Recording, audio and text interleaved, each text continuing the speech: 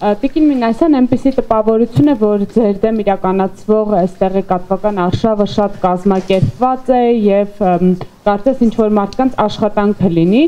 դժվար է պատկերացնել, որ սա նրանք անում են պարզապես այսպես գաղափարներից ելնելով, համարելով, որ ձեր գործունեությունը վնասակար է երկրի համար եւ այլն, Այս տեսանկյունից հարցին նայելով դուք կասկածներ ունեք, որ իրենք կոնկրետ ֆինանսավորվում են ինչ որ կառույցների կողմից եւ հնարավոր է նաեւ անում են այս ամենը քաղաքական նպատակներից ելնելով ինչ որ այլ քաղաքական կենտրոններին աջակցելու համար ձեզ վարկաբեկելու միջոցով շնորհակալություն ներողություն եմ խնդրում, բայց պետք է անդրադառնամ ելի մեր թեմային, որ այդ հենց կոնսպիրատ դավադրության տեսությունների շրջանառման դեմ է նաև, որ մենք փորձում ենք մեր հանրության, մեր լրագրողների դիմադրողականությունը բարձրացնել եւ տարիներ շարունակ ջատագովել ենք փաստերի հիման վրա հետևություններ անելու։ Կան փաստեր, կա կան հետազոտություններ, որոնք որ ինչ որ կապեր ցույց են տալիս, տանում են, բերում են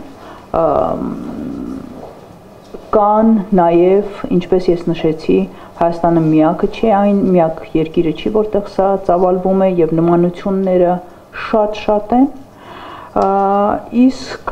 ջանասիրության կամ այդ ստրատեգիայի այդ պատրաստվածության մասին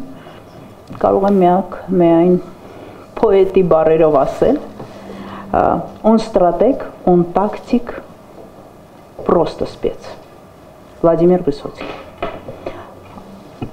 Շնորհակալություն Խնդրեմ։ Դավիթ Գալստյան, Սպուտնիկ Արմենիա, Տիկին Մնասյան, լրագրողների եւ փորձագետների կողմից բավական երկար ժամանակ է շրջանառվում է տեղեկատվություն, թեզ, որ իշխանությունում կամ տարբեր բևեռներ եւ տարբեր ներկայացուցիչներ, որոնք ներկայացնում են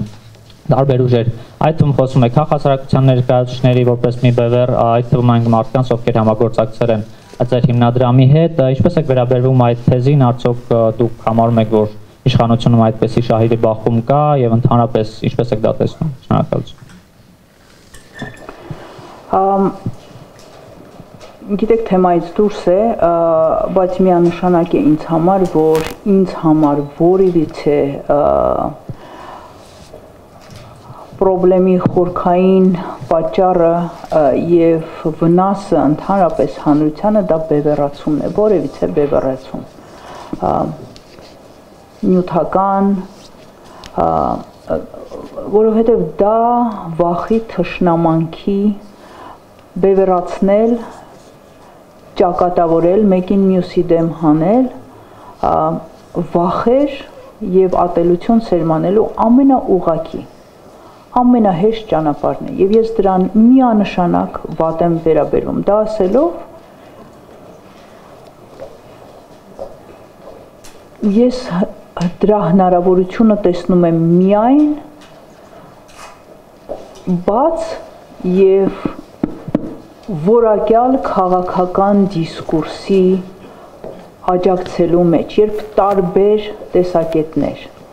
ամենա պրոբլեմատիկ հարցերի շուրջ կդրվեն քաղաքական քննարկման ոչ թե դավադրության տեսությունների, ոչ թե վախերի բայց փաստերի եւ հնարավորությունների շրջանակում եւ կքննարկվեն միայն այդ պարագայում եմ ես տեսնում հնարավոր լուծումները դժվար հարցերի իսկ որ մենք հեշտ հարցեր հիմա համարյա թե չունենք դա ակնհայտ է այնպես որ ձեր հարցի պատասխանը այսքանը